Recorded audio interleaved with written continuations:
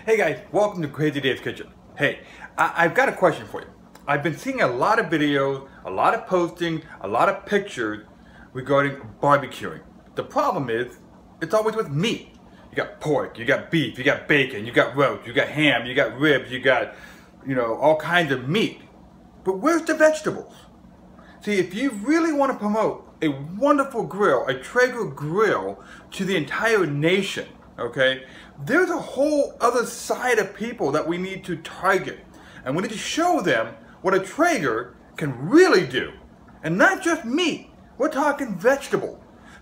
I'm gonna get a lot of complaints from people talking about where, where's the beef. Trust me, the beef is there. I eat beef. I'm not a vegetarian by any means. But I wanted to show the other side of what a Traeger, a barbecue, a green egg, any smoker can do. And that's vegetables.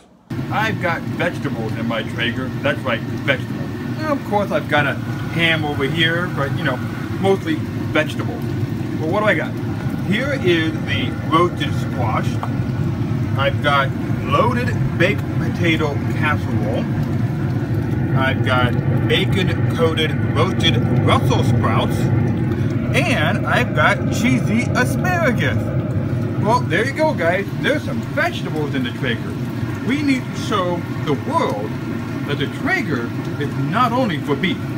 Well, thanks for watching.